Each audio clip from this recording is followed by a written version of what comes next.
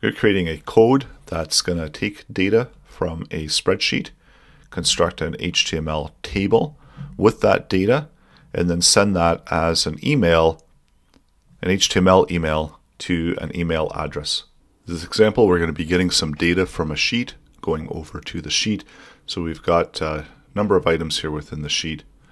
So let's set up uh, the sheet that we're going to be using. I'm just going to add in a header here just above. So we want to get the data that's sitting within this Google spreadsheet and we're going to create a table. So first of all, let's go ahead and select the ID value for the sheet that we want to use.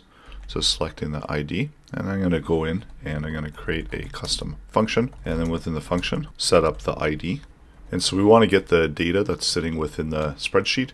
So now we're going to select the spreadsheet and we're going to use the sheet variable and then using the spreadsheet app service open by ID and this is where we use the ID of the spreadsheet. And then we want to get a specific sheet so get sheet by name. So this allows us to specify a string value for the name of the sheet that we want to select. So in this case it's just called sheet 1 I'm going to give it a more meaningful name. It'll just say users so we're selecting that particular sheet within that sheet using the ID, a spreadsheet using the ID. So this will give us the sheet object and you can double check to make sure that you do have the sheet object properly by logging it out within the logger. So if we run the logger, there's our sheet object within the log. So we know that we've got the sheet properly selected and now we can go get the data that's sitting within the sheet. So let's uh, get all of the data from the sheet. And we can do that by selecting the sheet itself and then getting the data range. So this will select all of the active content that's within the current spreadsheet that we've selected. And then we can get those as values. So this is going to return back an array of values. And you can also output this into the log just to make sure that you do have it properly. So that's the array of values and each one of the rows is its own array and each one of the columns is the item within the arrays. So now that we've got that we can get the heading, so the header, and this is going to be separating out the data, just returning back that first item of data, and then the rows for the rows of content, we can use the data slice and we can slice it starting at zero or whatever index value that we want to slice it. So let's see what we've got now for the header. And then also let's uh, see what we've got now for the rows. And you can use any array methods that you do in JavaScript. So we see that for the header we've got the first and we need to actually slice at 1 if we want to get the slice of only the data from the users. So that gives us an array of the various items and then if we're just using the first that gives us the array of the first row of content. So that's the header information. So what we want to do is we want to construct an HTML table using the items that we have within the row.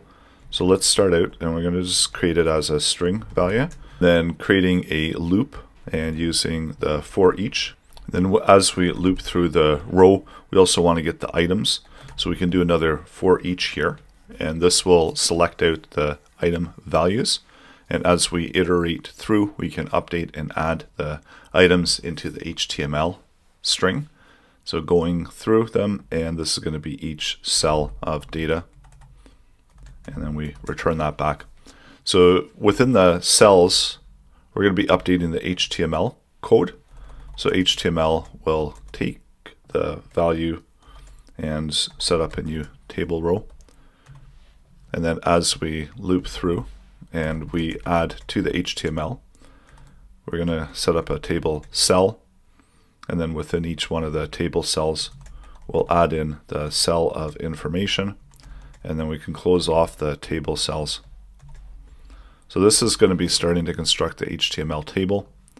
And then after the row has completed the iteration, we can close off the row and then after we finish the table, we can then just add to it and add the closing tags for the table. So let's see what we've got now for the logger and we'll see what we've got for the HTML. So we've essentially constructed an HTML table from the content that's sitting there. So we just take a quick look and just make sure that we do have the table properly. And you can also divide it out using just the headers. So if you want to like use the table headers or the different rows of content, you can do those as well. So I'm just going to keep it at the data. So this is just going to be a simple plain HTML table. So we're not going to have any additional structure within the table. So next up, what we want to do is we want to select that HTML and we're going to email it out. So let's uh, get our email address. So this is the address that we're going to be sending it to and maybe we'll just send it to ourselves. Of course, if you have an email address that you want to send it to, you can do that as well. But for demonstration purposes, we're going to take the email from the account that we're currently logged in.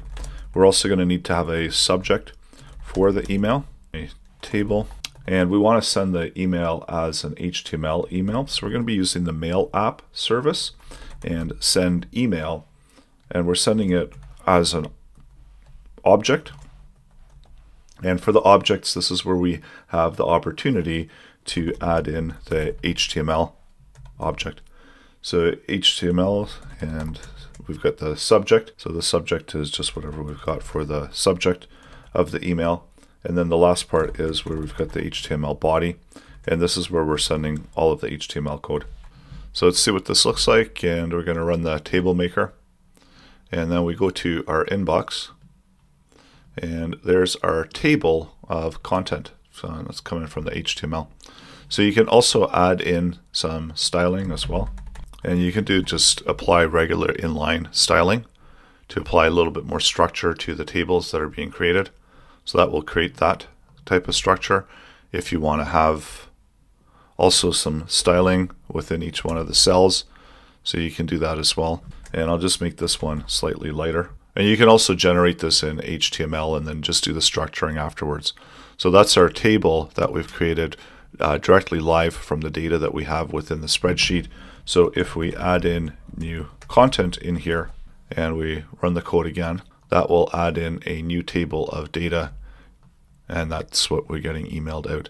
And of course you can add to the HTML to add additional content into the email.